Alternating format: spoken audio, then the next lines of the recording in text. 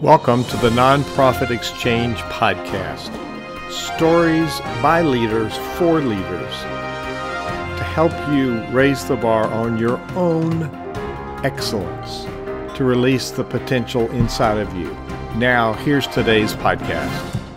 Greetings, it's Hugh Ballou. Welcome to the Nonprofit Exchange. Every Tuesday, we interview somebody that has specific knowledge, specific gifts, specific experiences our goal is to help all of us learn as nonprofit leaders and clergy, learn some good sound business principles. Today's show has the, the umbrella topic of philanthropy, but it's a specific area of philanthropy would come under a subset of planned giving. And then another subset there, but I won't go any further. Um, I have a guest today who knows a lot more about this, and we're not going to tell you what to do with your money, how to invest, or any of that stuff. That's not stuff we talk about here. We're talk, going to talk about leadership principles and systems to put in place. My guest today is Brion Gum, Crum, excuse me. Um, you know, I took two weeks off, Brion, and I have to be retrained. you're, you're forgiven. So you're forgiven. Happy New Year, Hugh. Tell, that's right. Happy New Year. So, fortunately, we got a fresh start. So, uh, tell people a little bit about yourself and your background, and then why do you do what you do? What is your passion?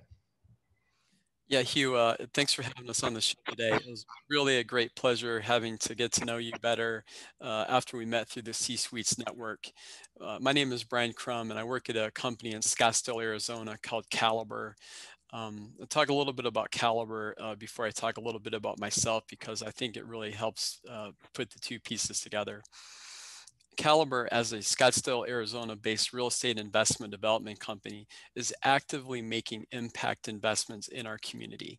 And the way that we do that is on, that on behalf of our investors, who are typically very successful business people, uh, they may have been fortunate enough to have grown and sold a business. And through the wealth that they've created, they have decided that they want to invest back into the community and they want to help create solutions for uh, what may be most needed, whether it's affordable housing or better healthcare or investing in education and sustainability. The reason I joined Caliber as someone that has had a background in financial services uh, for over 25 years is that I saw it as a way where we could help people invest directly into their community money made on Wall Street gets reinvested on Wall Street. It doesn't go back, or I'm sorry, on Main Street gets reinvested on Main Street. It isn't someone that's a hardworking entrepreneur. They send their money off to a money manager in New York and it never comes back into their own local community. So when I found out about the impact that Caliber, as one of the fastest growing uh, small investment companies, not just in Arizona, but in the country, was having on the community, I decided to leave my corporate career where I was working as a financial advisor at Merrill Lynch, where honestly, we didn't have the ability to let people invest directly back into their own communities, whether it was related to businesses or related to real estate. So fast forward to today, um, one of the things that Caliber has done recently that I'm most excited about is that we have created our own foundation. So now we're tying together the fact that we're making these impact investments in our community, but also we're adding in what we can do through our foundation and our corporate philanthropy. So part of the conversation I'm looking forward to having with, uh, with you today, Hugh, as well as our audience, is how can more companies, more people look at ways to increase the good that they do in their community. And we're going to go over some of those different strategies. Wow. I guess the first step um, is a nonprofit leader or clergy. Our, our, our attitude, our knowledge, and our perspective on how money works. So I think in coming to the table to have a meaningful conversation, I think it's important for nonprofit leaders and clergy to understand uh, money and investments and all of that, and to understand we we get in this habit of of treating corporate leaders and high net worth individuals um, like an ATM. Give me mm-hmm. some money. Give me some money. It's a withdrawal rather than building our system so there's a compelling reason for somebody to want to support it with their, mm-hmm. their financial gifts. So on, on our side, how do we come to the table prepared to have a conversation? So I think the one thing to keep in mind is that there's a difference between people that purely just want to donate um, and people that want to get more actively involved in your organization. And that could include finding a way to make an actual impact investment that will support the mission of your organization. And I think a good way to talk about this is using a couple of specific examples part of the caliber uh, corporate philanthropy in the way that we utilize, utilize our foundation is when we meet with a community leader, um, in particular in the nonprofit space, what we want to do is we want to understand what are your challenges? What is something that we could do within our network, within our community, that we could do to help you address challenges that you are having? And one of the solutions that we can bring to that, we have what is called the Encore Fellowship Program. So these are Encore Fellows that can actually be dropped in almost as a, a, an executive on loan that we can support through the Caliber Foundation. So once we have a better understanding of the challenge that that organization is having, we can start looking at some uh, very creative solutions.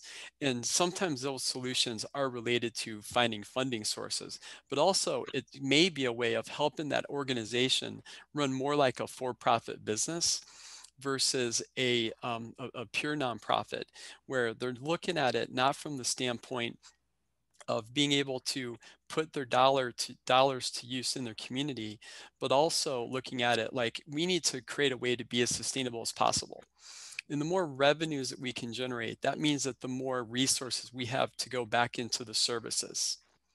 And that might mean that you can actually create a way for your organization to create revenue streams by providing solutions that typically might be done through a for-profit entity. But the beauty of doing it through a nonprofit is that you have a way to increase your revenues and you don't have the issue of uh, needing to pay taxes on it. So I want more executives in the nonprofit space to realize that if you run your business a lot more like a profit driven enterprise, you can create more sustainability, grow the organization, promote, provide more resources to the community that you serve. And the benefit of it is you don't have to worry about paying taxes on it. That's a lot of stuff to think about. Um, so let's let's clarify some terms now. Uh, before we went live here, I told you that um, I have a this. Even though we use the term the nonprofit exchange and nonprofit performance uh, uh, 360 magazine that we publish, um, we we also realized that the word nonprofit sets a negative paradigm of scarcity thinking. Mm-hmm. So speak a minute about three terms. One would be how do we reframe it's really a tax exempt business. It's a C corp, uh, non-stock C corp. So talk about that paradigm of nonprofit and moving into an abundance thinking. And also talk about use the word philanthropy. Give us uh, an idea, and you've expanded that. It's not just money. And then the third one is planned giving. So we're, we're in some some specific areas, but talk about those terms and why are those important terms for uh, a nonprofit leader to know? So let's uh, use a couple of examples. Um, if you're a nonprofit leader and you are trying to provide affordable housing as an example, you don't need to rely on purely getting donations. You could set up a business model where people could invest, they could actually create affordable housing that you would then manage. Now what you've been able to do is you've been able to create a way for people to make an investment into your community and you are going to be able to continue to bring in more money that way because most investors might feel more comfortable about making an investment that will grow and produce revenues that go back into the um, the nonprofit entity. So I think we need to look at a couple different things. What's the difference between pure donations and what's the difference between making an impact investment that supports the resources of your um, of your organization. Now you have more capital to provide those services and if one of the challenges that you're having is bringing in people that understand how to run a business that way, this could be one of the ways where we find one of these Encore fellows that we can basically drop into your company um, until we kind of get you headed in that direction. Love it, love it. So, uh, how do you how do you define philanthropy? You know, um, when you think about what is someone passionate about, some people are very passionate about animal rights. Some people are passionate about children and education. If you're finding a way to creatively support that organization, you're being a philanthropist. Maybe you're doing it with your time, maybe you're doing it with your donation dollars, maybe you're truly making a social impact investment that is meaningful to you. Love it, love it. Because the, the root words are philos, love, and, love. and humankind. Yeah, yeah. Love, love of, your brother. Yeah. So um, um, I want to get sisters in there so we don't get in trouble. um, so um, planned giving. Uh, we teach at SynerVision there's eight streams of revenue, and one that's not utilized as often as it could be because many leaders don't know how to even start the conversation or prevent present the value proposition for um, somebody to even consider leaving. Well, in your case, it's a, it's it's a cause-based uh, investment that's going to create ongoing value. And thankfully, there's a lot of corporations that are looking at that kind of triple bottom line to make a difference mm-hmm. for the planet and people as well as the profits. So, um, talk talk a minute about um, planned giving and how this fits into a planned giving uh, scenario. Yeah, this whole conversation actually became really personal for me a couple of years ago when I joined what's called the Planned Giving Roundtable of Arizona.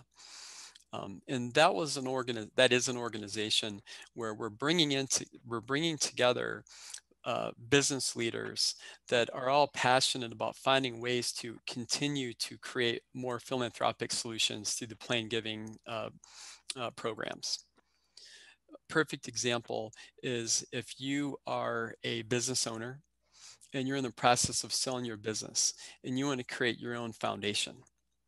How am I going to set that up? What are some of the best practices that I can use? Um, who are the people that I need to engage with, whether it's attorneys, financial advisors, nonprofit leaders, so that I can go from the point of being a successful business owner and a leader in my community to become a, a philanthropist? and through the Planned Giving uh, Roundtable, which is not just in Arizona, it's actually a national organization. I just happen to be on the board of the chapter that we have here in Arizona.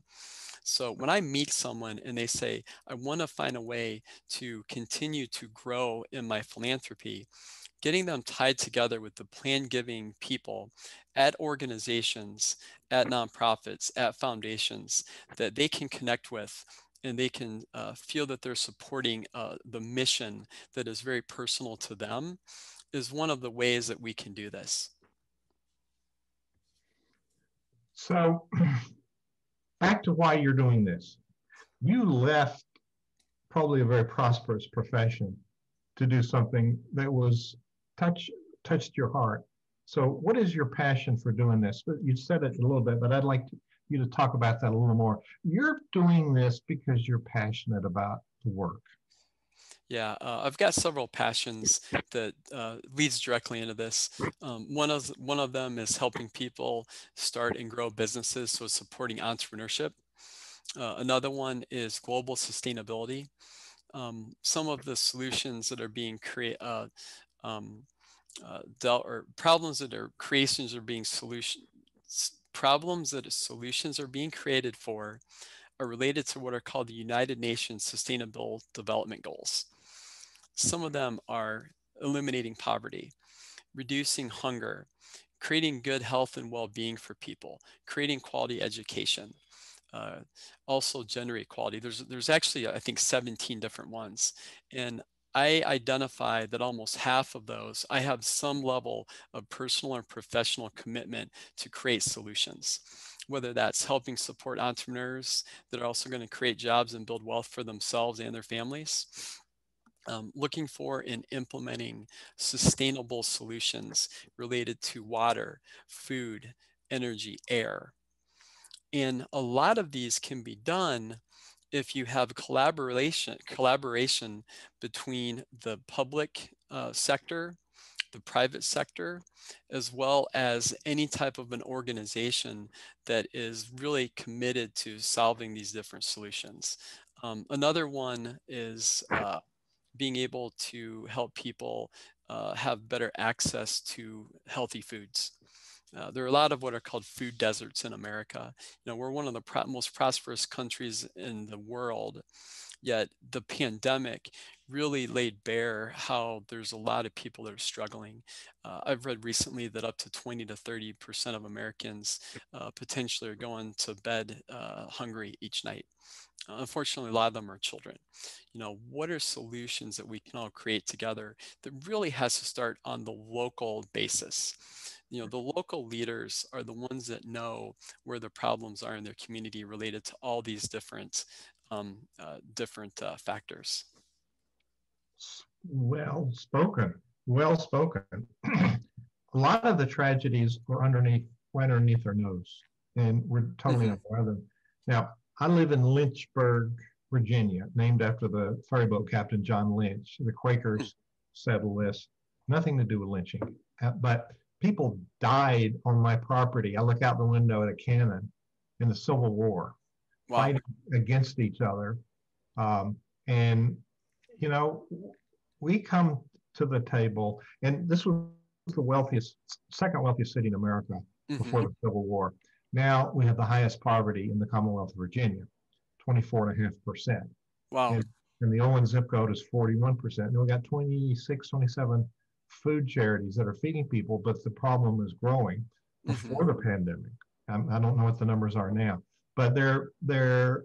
So what I'm trying to do is put together some sort of collaboration here to work together because mm-hmm. we're, we're missing we're missing some opportunities and we're we're duplicating um, besides leaving out stuff we're duplicating as well. So my my my vision is homegrown, but there's mm-hmm. probably a similar scenario in most every city where people are doing things and we don't know as nonprofit leaders and even clergy we don't know how to put two and two together and make seven by collaborating so so i think your your call to action here is to think about reaching outside of our resources and collaborating yes. Yeah, yeah, we absolutely need to create more ways where people that are in the same community are connecting together um, and what we've seen in the last two years, one of the ways that that is happening is through what is called the Opportunity Zone Fund program. Um, so I'm going to cover what an opportunity zone is, then what the fund is, and then I'm going to tie it together with how we can use this to potentially create some of the solutions, uh, specifically what you just mentioned, whether it's on behalf of for-profit or nonprofit entities. The Opportunity Zone program is something that was created uh, originally the concept of it was started back in 2015 by a group of uh, bipartisan senators and congresspeople, along with business leaders including one of the original founders of facebook. And they were looking at the fact that there are pockets in this country that had not seen the same type of success that other one, other parts of the country had following the Great Recession that started back in 2009 and 2010. And they identified that one of the common denominators of areas that had started to recover and were doing well and areas that were left behind was access to capital. So the concept was, what if we create a tax incentive for people to actually invest into these areas that became designated as opportunity zones? And when we do that, we believe that we can help create jobs, we can help improve education, access to healthcare, um, affordable housing is a huge issue across all of America. And then what we just talked about, which is related to food. So in two, at the end of 2017, the Opportunity Zone program was actually created by an act of Congress. And what it allows people to do is when you success are a successful investor and you sell your business, or it could be real estate, could even be stocks that have a capital gain on them. If you invest those capital gains back into these opportunity zones through an opportunity zone fund, you don't owe any of those original capital gains to the federal and state government until 2027. So you get this immediate deferral period. The second benefit they get as an investor is that they will have the amount of the original capital gain reduced by up to 10% if they invest uh, prior to the end of 2021. Now, where this gets really interesting, um, those are two great benefits, but the big impact is after a 10 year investment period, where any capital gains that are attributed to those investments in these opportunity zones will actually be distributed capital gains tax free. Um, so I'm going to give a couple examples of how this can be used, and then I want to tie it into how the nonprofit sector may be able to benefit. Uh, and feel free to jump in with any questions along the way. Um, one of the ways that Caliber, through our Opportunity Zone Fund, has been able to make investments in the community using this program. Uh, a year and a half ago, we bought a vacant assisted living facility in Central Phoenix. This was a facility that used to be owned by a nonprofit. Um, uh, they expanded, uh, built a new campus, and this uh, assisted living facility went vacant. Uh, there are homeless people living in there doing drugs. Um, so a little bit of a blight on the local community uh, is in an area that has a lot of medical services available. You know, large hospitals are right across the street. And then a, a, a, a housing community of historic homes where there's a great sense of pride of ownership. So we had this little pocket of this vacant building. We bought the vacant assisted living facility on behalf of our investors in the Opportunity Zone Fund and then we fully renovated it and we built a behavioral health care hospital. Now, the same people that may have been living there uh, uh, and having issues with drugs and alcohol can actually come back in through government funding, actually get treatment for whatever may have been causing them to be in that condition. Um, so it's creating great jobs um, you know, over 100 medical jobs were being created there, and people that had mental health care conditions that were otherwise not getting treatment are able to get treatment, which is now more important than ever. So it was able to create uh, solutions for several problems in that particular area. And it also became a great investment on behalf of the investors that invested into the fund. Now, that's an example of a for profit entity how can a nonprofit potentially take advantage of the opportunity zones? Because of the way that these opportunity zones were identified, they were typically in areas that had high levels of poverty, high levels of unemployment, um, and then each of these different communities, whether it's urban or rural, is going to have a different need, a different solution that can be created. So if the issue is related to healthcare, then whether it's a for-profit or nonprofit entity, you can actually use the Opportunity Zone Fund program to build that hospital as an example. Same thing for a school.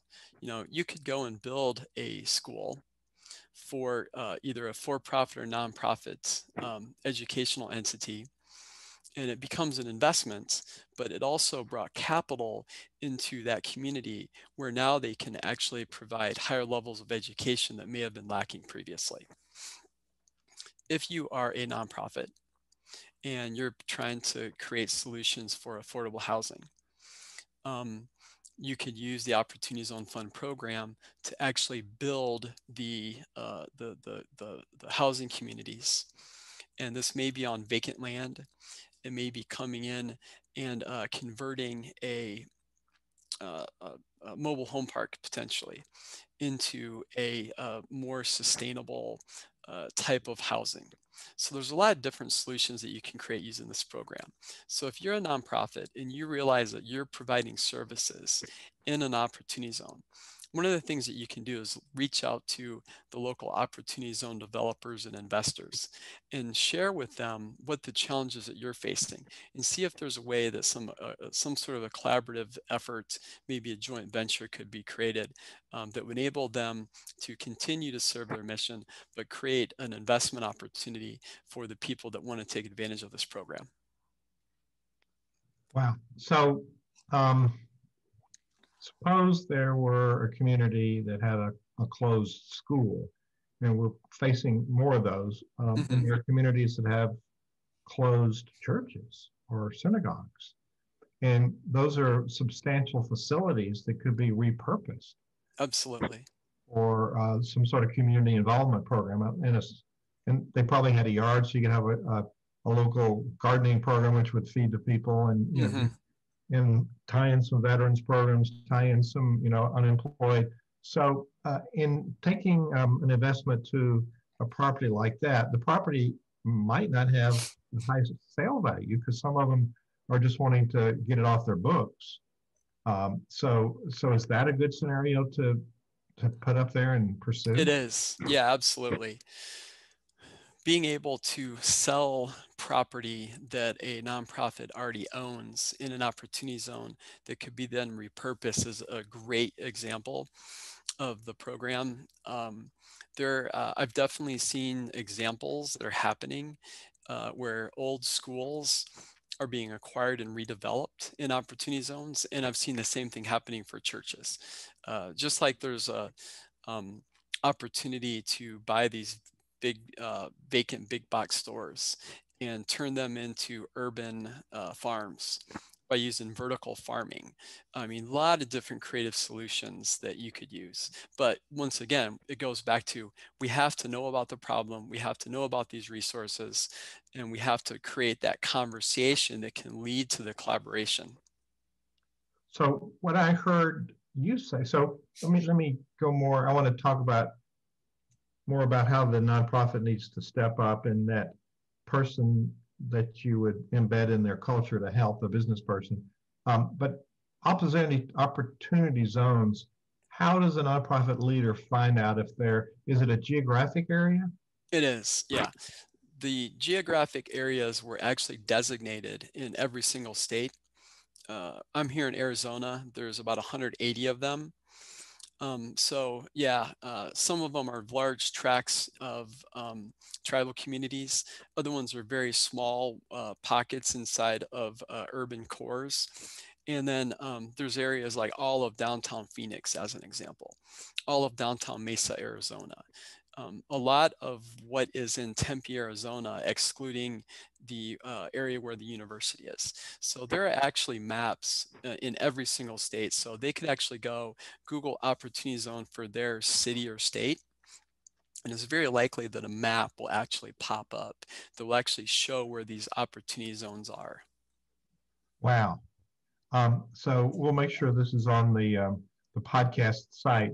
But um, if you want to find out more, um, it's um, K A L I B E R C O dot com, caliberco dot com. Uh, C A L I B E R C O dot com. Uh huh. What did I say? That one? No, it's a K. It's good. Yeah, it's caliber. Actually, we're making it easy. I've got our sign right behind me. Yeah, caliber.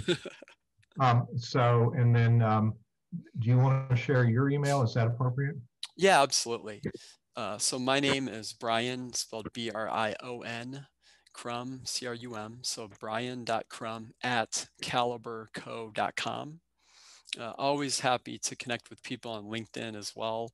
Um, you know, for a lot of 2018, uh, myself and other members of our company traveled around the country talking about how opportunity zones can be activated in these different communities.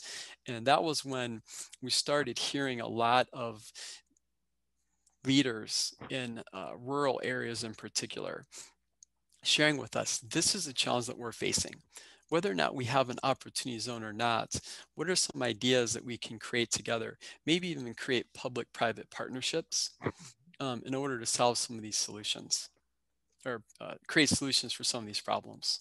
Well, actually, that's that's that's an area we need to explore a lot more, I believe, because if our senators or congressmen, um, representatives, if we came to them and said we've got a potential collaboration, public-private, and we have a funding source, we're doing things that government probably shouldn't be doing, but they need to help us. Mostly, yeah. maybe sometimes get out of the way, but they, they need, uh, they can help streamline some some different parts of this licensing and whatnot permitting. Mm-hmm. So having having them on board with it. So um, I'm going to do a commercial here just a second, and then I'm going to come back. Um, so one of our sponsors uh, just got to find it. Where did it go? One of our sponsors for uh, SynerVision Leadership Foundation is a company called Easy Digital. And they make an easy card, and it's letters E and letters Z.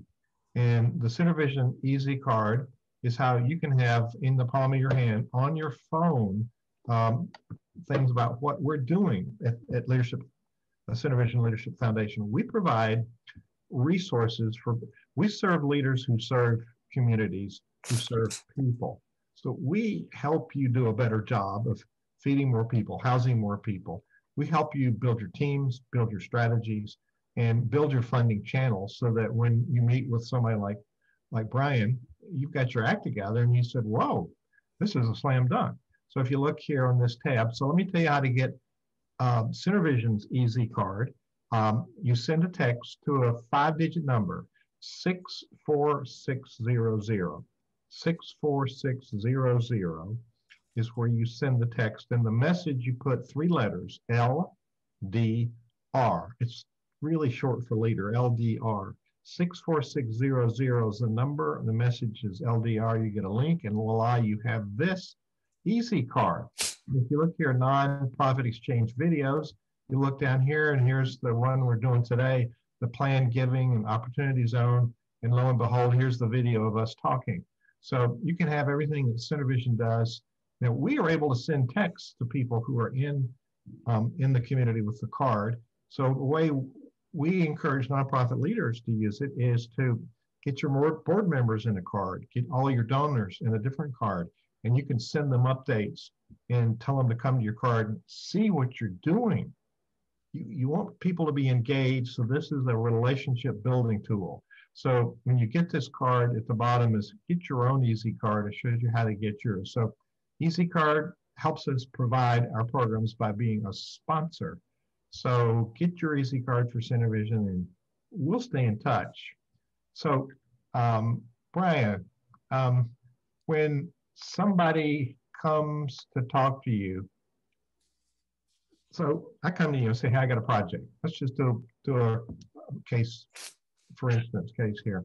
And I said, oh, I got this food project in Lynchburg. I don't know if Lynchburg is an opportunity zone or not, but it's, you know, high poverty level as, as I mm-hmm. talked about. Yeah, and, mo most likely it will have opportunity zones in it then.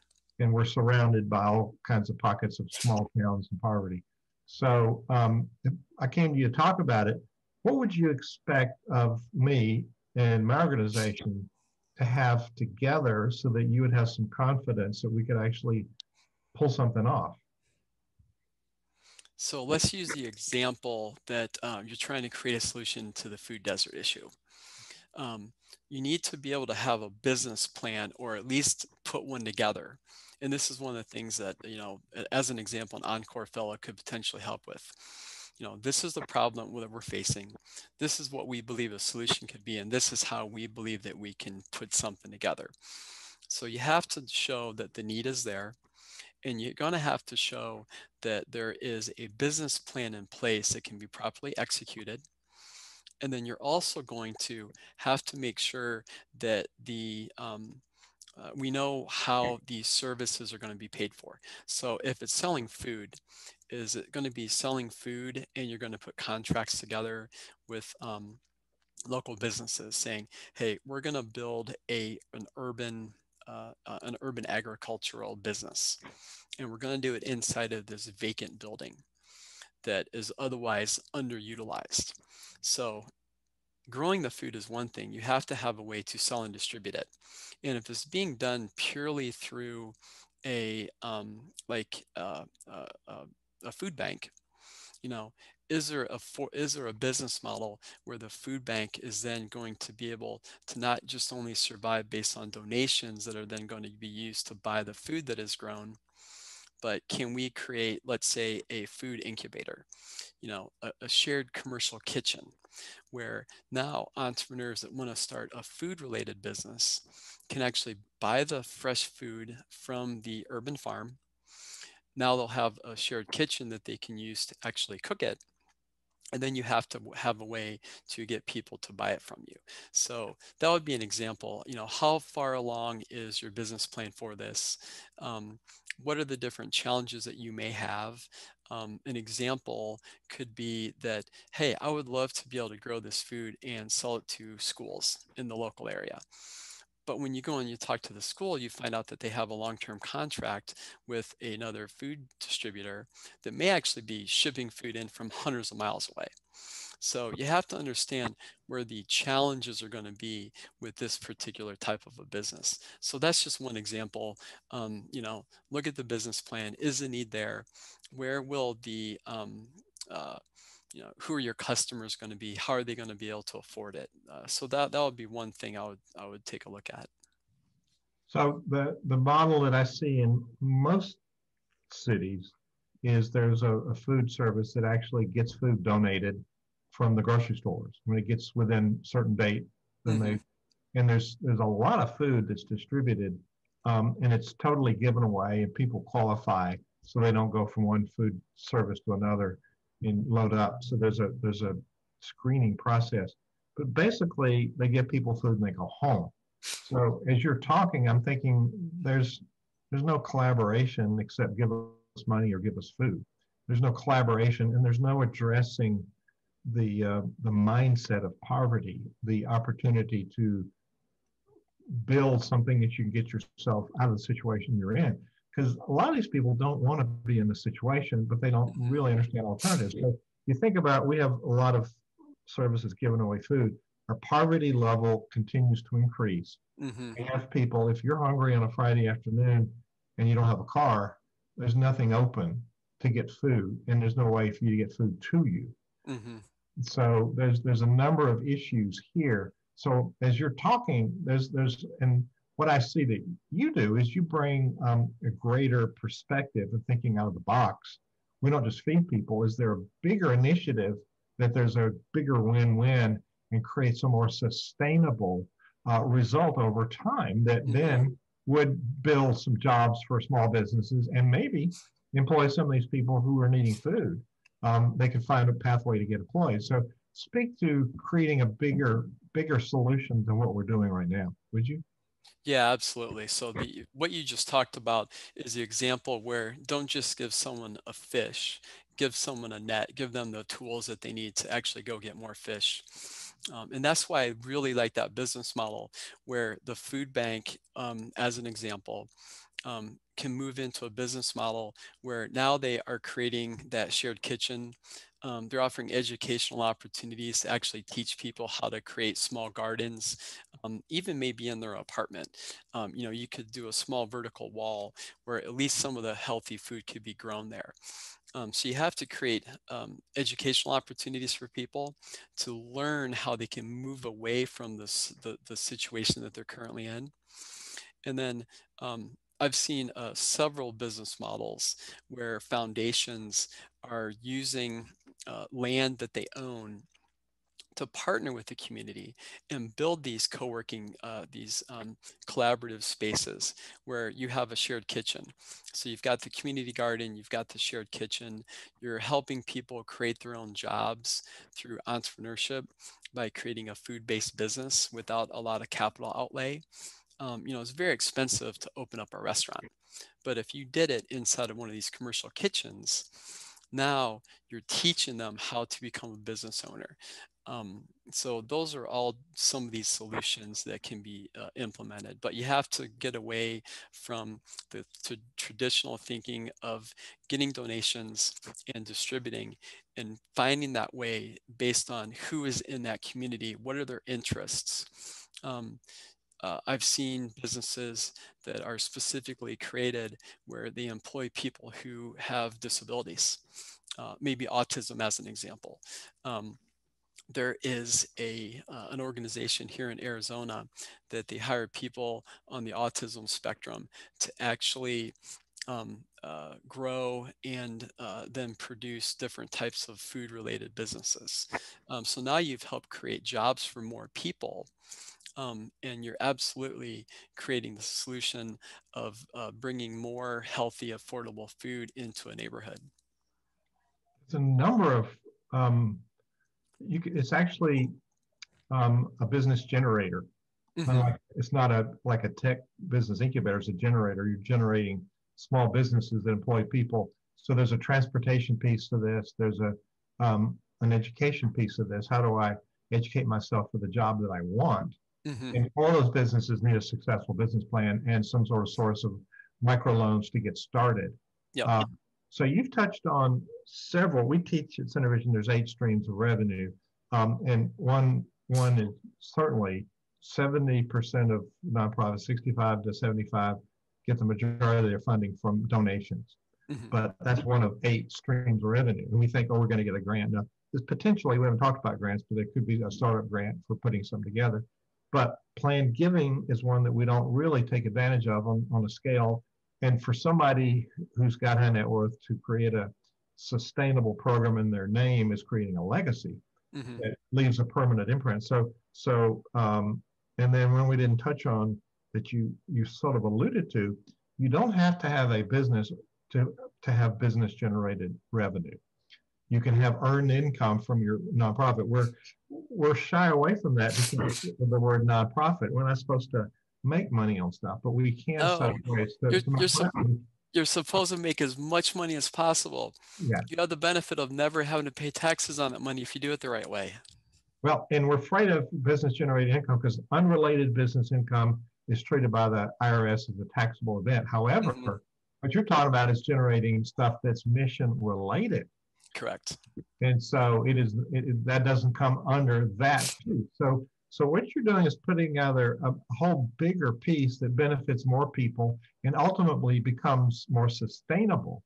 So what, what I see over and over is we think too small. We're going to do one mm-hmm. little thing with ourselves instead of let's put all of the people together. Maybe they're not even competing. There's a transportation piece. There's a business yep. advisor. There's a, there's somebody representing from the, the city. There's somebody from the community foundation. There's somebody from the university. So, you know, we put together the, good brains and we build this, this bigger initiative, and then we start it one step at a time. So back to me, if I approached you, A, you would want me to have a plan. Mm-hmm. It says, I want, here's what the result's going to be. We're solving this problem. Here's how we, we show up our uniqueness in solving the problem that nobody else does because we've looked at the competition. So mm-hmm. it's the unique value proposition we have. Yep. And then here here's the intended results, the impact of what we're doing. It's going to impact people's lives. And then you've just added an element to this about to the impact piece. There's an economic impact piece and a self-sufficiency impact that we're we're getting more people employed. So this requires a whole lot of coordinating and a whole lot of planning. So, oh, and one other piece that we didn't touch on yet that you alluded to was in-kind donations, having a person is a mm-hmm. corporate in-kind donation. Yep. Now, they don't get a deduction for that, but it is one of the sources where we save money. It's one of the eight eight sources of, of funding. We don't spend that money for that executive because it's an in-kind donation. So there's there's several ways that in-kind donations can help. Not only that person provides a function, but they bring a whole network of connections with them, don't they? Absolutely. Yeah, that's one of the beauties of that model. Um, and I, I, I would say to if you are a nonprofit leader in your community and you don't know what resources are available from the companies that have a corporate philanthropy piece, you need to start those conversations and share with them what challenges you're facing and just ask do you have someone that you would recommend? Maybe it's someone within your own organization that could, on a fractional basis, just instead of just purely volunteering their time on the weekend, um, they would be able to do it maybe as part of that company's um, paid time off program. Um, that's one of the things that Caliber uh, makes available. Um, anyone at Caliber at any point could uh, do paid time off related to charitable causes and that could include them you know be, becoming one of these fractional fractional executives or experts that can solve some sort of a need or a challenge that the nonprofit is having. Yeah, so once again once again it goes back to collaboration. You have to start the conversation because as a corporate executive you may not know what the internal challenges are of these organizations. So you have to have those conversations. And maybe that means that you uh, openly reach out when you're at a, a networking event. Um, you know, a lot of nonprofits are members of the chambers of commerce. you know share in those chamber meetings as an example what are some of the challenges that you're facing is there someone in your community your organization that could help us figure out what that challenge is so um, let me just kind of go down the, the questions we had on the radar i just sort of got into some different things i will say to you uh, this is a very eye-opening um, interview with lots of uh, really incredible information that's very valuable. So um, we're at the beginning of a new year. So here's a couple of questions. You've covered some of it, but me just kind of go through it step by step. So we're we're um, at the beginning of a year. Um, so what kind of planned gifting strategies do you see your clients doing leading up to the end of this year? What do you think is going to be prevalent? Um, the one that uh, has really kind of changed in the last couple of years is the ability to actually incorporate an investment into an opportunity zone fund into the estate planning that is being done when someone uh, either sells their business or another asset or is potentially looking at um, you know how am i going to pass everything on to my heirs? So if you are not working with a CPA, an estate planning attorney, or a financial advisor that understands how there's these additional tax and investment benefits of an opportunity zone fund that can be incorporated into your plan giving strategy. Um, that is something that I'd be more than happy to have a conversation about and potentially help them identify um, you know, an estate planning attorney or a CPA in their community that could help them implement something like that. People you work with, are they um, individuals? Are they family offices? Are they family office foundations? Who are they primarily? Yeah, all the above. Um, it's mostly been individuals. So, um, you know, a couple examples.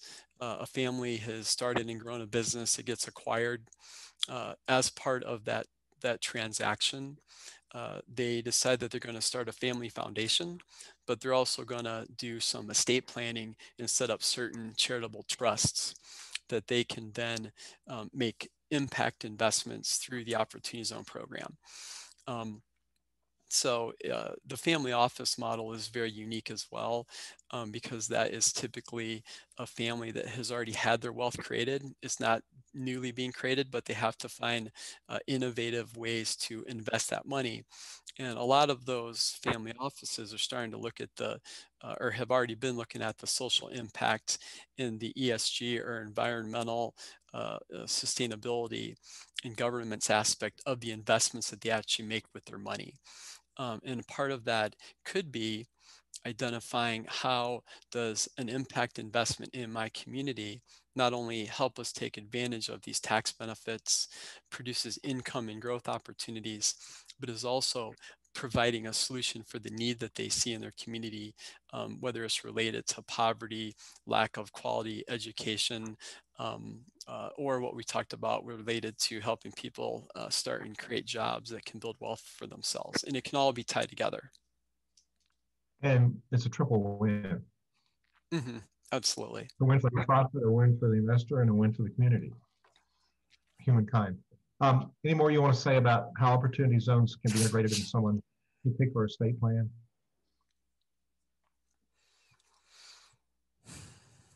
Um, you know, the key to that uh, really goes back to making sure that uh, they have a team in place, their CPA, uh, their estate planning attorney, and a financial advisor that understands what goal that family uh, or individual is uh, trying to achieve.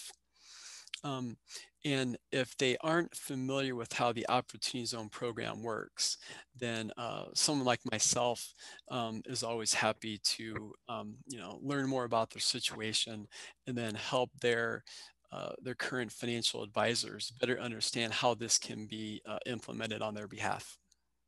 Because like i said it is a brand new program. It's only a couple years old and our company is one of the first ones in the country to actually create an opportunity zone fund that is actively investing in entrepreneurship education healthcare um, and then looking for other uh, other uh, community-based needs that fit this type of an investment.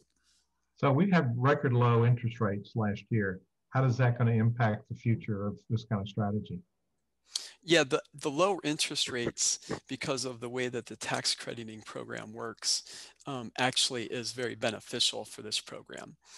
Um, the other the other benefit of the low interest rates is that it's actually creating a, a, bigger incentive for people to invest into real estate in their community, which creates income from the rents that come off of it.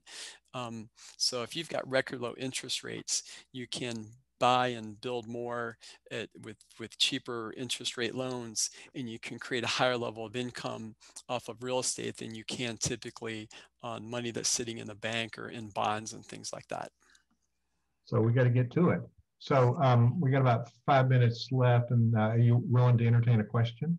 Absolutely, I would love to. Okay, um, talk about philanthropy. Here's the author of Philanthropy Misunderstood, a book you should have in your waiting room. There is a coffee table book, philanthropymisunderstood.org. Uh, Bob Hopkins, who's on the line from Dallas, Texas. Bob, you raised your hand. Have you got a question? Well, I do. I'm, unfortunately, you. I missed I missed a little bit about this. Um, but um, Brion, um, of course, there's there are not a lot of companies actually that have an arm that is of social entrepreneurship, mm-hmm. like you're talking about. Uh, many times you have boards of directors who say, "Why do we want to give our money away?" Personally, we can give our money away, but why does the company want to give our money away?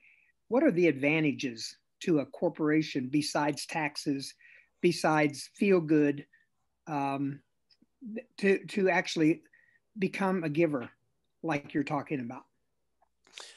That is a great question, and it's actually one of the reasons why uh, Caliber started the Caliber Foundation and uh, the way that we're approaching corporate philanthropy. And one of the, the the best reasons to do that is that your younger employees, in particular, um, this is very, very common with millennials. They want to be more involved in philanthropy, but they're not the they're not the point where they can write those big checks, but they want to be directly involved.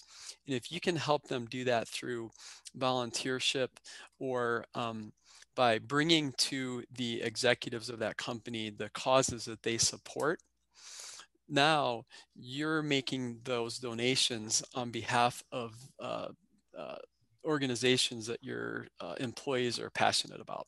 Um, so greater greater uh, engagement with your staff is a great reason to do it. Uh, that's just one example. Um, another one would be we have seen that people want to do business with companies that care. So now we're talking about not just creating a program that is going to donate money and, and, and, provide these other resources, but make sure that you're sharing the story. Um, so there's a there's a PR opportunity um, that you're doing, so that not only do your employees know that you're doing it, but also your customers. Um, so if you're a company and you're trying to compete with business and your competition has a corporate philanthropy program, there may be some customers that want to do business with them uh, because they see that they're creating solutions for problems in their own communities. Mm-hmm. Right. You mentioned earlier, Brion, that there's uh, this is uh, an investment opportunity too. There's there's a, a, a profit stream here as well. Yeah, if, if, if, if you make impact investments versus the, the, the pure donations. Yes, correct. Okay. So there's more than one way to approach the conversation. Bob, did that answer your question? Yeah, I did. And I do know that the retention of your employees is at a greater, as at is higher when they know that they're giving part of their mm-hmm. money away and um, and getting them involved in the community is in a major is a major aspect of that that program as well. Yeah, no, that's great. Yeah, great question. Love that, Bob. Bob always has great questions. Thank you, Bob, for for being here today. So, um, Brion, um, this has been a very helpful interview, and for people listening, they can go to the nonprofitexchange.org, T-H-E nonprofitexchange.org, and you can find all of the seven years worth of these interviews. And I will say we've never had anybody like Brion um, on the on the show. People have talked about pieces of this, but you've got a, a really mind expanding way to think about strategies that are current, and you're on top of what uh, what's the win win for everybody. So uh, thank you for offering that. I'm going to do another another sponsor moment, and then um, gonna leave it to you to to. Before I do that, is there something we haven't covered that you wanted to highlight before we we close out this great interview? You know, the the one thing I did want to share is that a lot of foundations actually don't make pure uh, true social impact investments inside of their investment thesis. Um, they might have a investment committee uh, made up of people that are used to making very traditional investments in stocks, bonds, mutual funds, but they don't really know how to incorporate real estate and true impact investments um, that are profitable um, and into their investment uh, um, thesis. So that's also something that I love having conversations with um, uh, nonprofit leaders about true impact investments as a part of their endowment potentially. It would occur to me that many, many, many local nonprofits have local business leaders, and sometimes they're they're branches or even home offices of national corporations. Uh, like here in Lynchburg, we do have some national companies, and we do have some of the local employees on. Um, some of them are the home office, some are not. Mm-hmm. But we do have some of the employees on local boards, yep. and so that's a it's an education piece for both sides, I would think. Oh, absolutely. Yeah. So, if people object to stuff, it's uh, it's um, you know they need some information about it. So I'm going to do a sponsor moment and come back to you and let you leave a final thought or a tip or a challenge for nonprofit leaders. But one of the, the things that we do is um, Nonprofit Performance 360 magazine. Here you can see a previous issue with Frank Shankwitz, who founded Make a Wish Foundation. Uh, that is a sustainable legacy that's still mm-hmm. going on. And he wasn't even a nonprofit leader; he was a motorcycle policeman. And, and so he started this charity because he had a passion for things but um, it's print. We publish it as printed by WordSprint, and WordSprint um, helps nonprofit stay in touch with their tribe. So it's 30% of your message is the right message to the right person, 30% in the right frequency, 30%, and the final 10% it needs to look good. So WordSprint, just like it sounds, WordSprint is the company that prints this, but it's it's a mailing house, not just a print shop. So mm-hmm. wordsprint.com is the company that helps you maintain the relationships with your support system. They get something in the mail. It's not email. They get a follow-up email. They get a call from you, but they get something in the mail that's really quality, tells them about the impact of the work that you've done with their dollars. So stay in touch with your tribe. Bill Gilmer and his team at WordSprint will be happy to share information, whether you use them or not, wordsprint.com. Tell them Synervision sent you to talk to them. They're the best in the game. So, Brion, what do you want to leave people with today?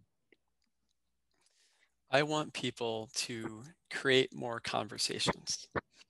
Share what your challenges are, share what your opportunities are, create collaboration. And it all starts with being open and honest. You know, uh, what are the challenges that you're facing? And uh, how do I connect with people that care about that?